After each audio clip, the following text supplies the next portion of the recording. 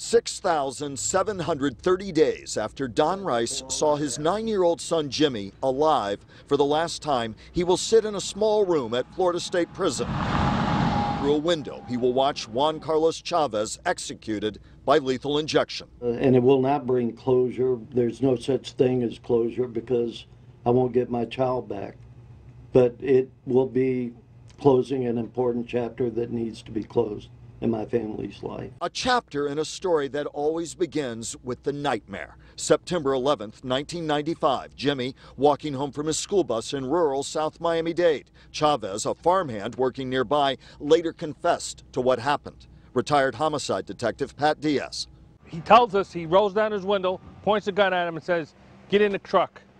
Jimmy crosses the street and gets in the truck with him. And that's, and then basically, this is the place where it happened. Jimmy was probably 250 yards from his house. Jimmy's mom, Claudine, could never let go of the what ifs. No mom, no parent could. And I, sh I should have told Jimmy, because if Jimmy had known that was the right thing to do, he would have tried to break away from that hole and he would have turned and run and he, I think he would have be home today. Three months after Jimmy disappeared, a suspicious employer put detectives on Chavez's trail. He admitted raping Jimmy, shooting him when he tried to escape, and then dismembering his body. Anger and grief, if you control it, can be very powerful forces to help you accomplish things.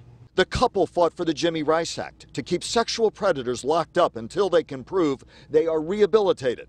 The Jimmy Ryce Center aids those victimized by sex predator abductions. But the grief and strain kept exacting a toll. In 2009, Claudine died from a heart attack. Then, in 2012, Jimmy's older sister, who helped fight for missing children, took her own life. So much to bear for one man, one dad. Today, behind these walls, a chapter in his life journey ends. The heartbreak never does. Back live.